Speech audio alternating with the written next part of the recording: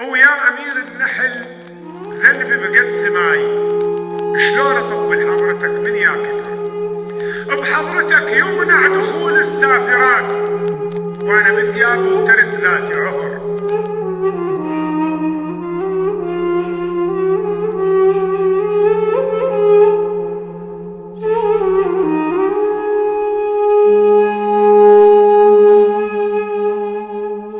يا أمير النحل ذنبي بقد سماي. شلون أطب لحضرتك من يا كتر؟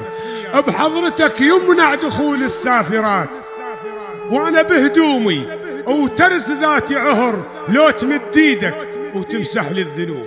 لو تراه النار عن وجهي شبر أنا منك لا أروح أو لا أجي.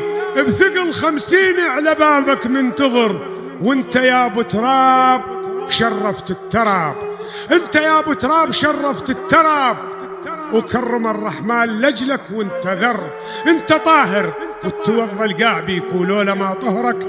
فلا مسح الطهر شلون مدحك يا علي؟ وهل يحتويك المدح وانت المبتدع وانت الخبر؟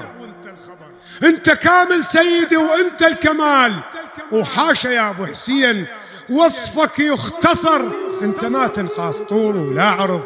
وكذا بكل من يدعي بطولك قصر الشمس ما ردت ولا للأنبياء وطوع ردت لك لمن قمت العصر.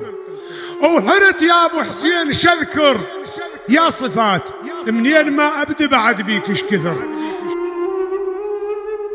هي بس ضربتك في يوم الأحزاب هاي وحدها بكبر كل الدهر.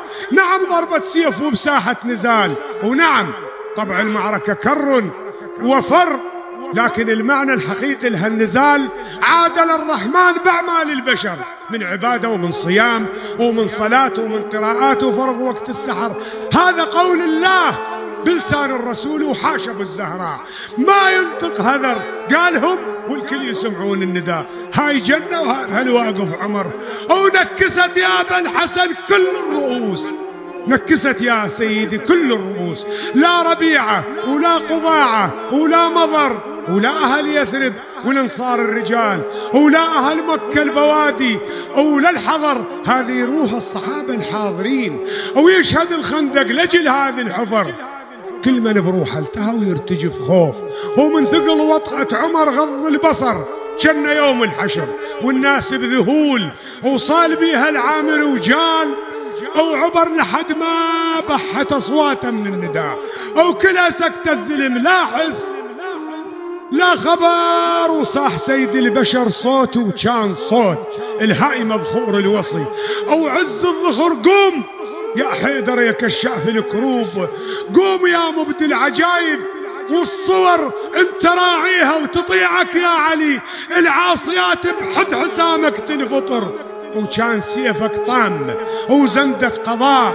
يا أحزاب! ويا قريش!